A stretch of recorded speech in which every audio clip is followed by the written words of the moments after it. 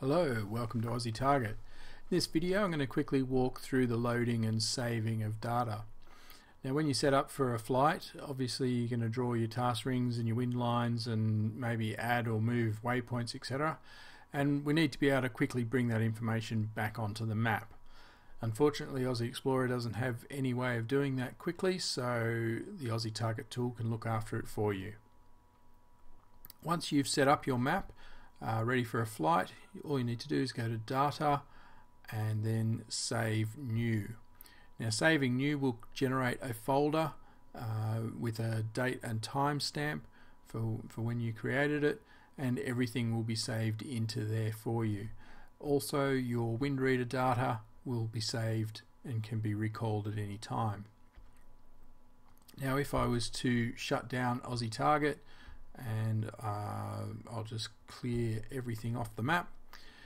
When I restart oziTarget, all I need to do is go to Data, Load Last, and all of that information will come back up on the screen. Now if I made some changes to, uh, to this, so say we take our task rings, uh, let's select a new waypoint down here, draw that information there, take our wind reader information, and draw this down here. If I wanted to save over the top of the last lot of information that I was working with, I just need to hit save. Or if I wanted to do like an incremental backup, uh, if I say new, I will now have two separate sets of data in there. So if I go to the load recent list, I've got the original one that I'd saved, which has the waypoint up here and go to load recent and the 1730 version has the uh, task rings and everything down there.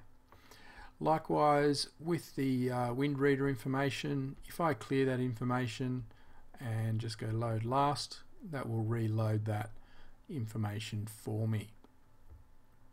Final trick to be aware of in here is that if I want to go to much older data that's not in the recent list, by selecting load selected uh, I will bring up a file requester and under the oziTarget folder you will see a whole bunch of subfolders here and each one of those is a, uh, a set of saved data so you may want to go in and clear those up after a competition just to get rid of them but also just enables you to jump in anywhere uh, and have a look at the old data.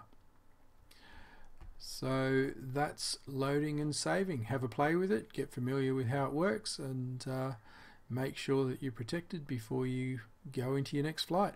Thanks for watching.